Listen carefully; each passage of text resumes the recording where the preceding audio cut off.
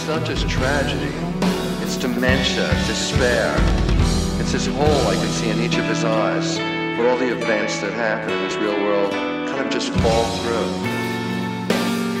It's loneliness in its most crippling form, the kind that no amount of love or human contact could ever mend.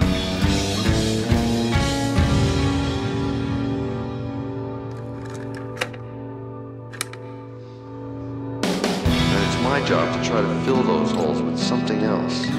But with what? Hope. I can fill those holes with drugs, soothing words. That's all.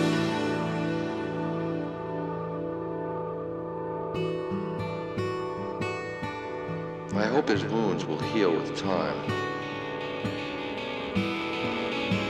But right now, Thanks, Lord.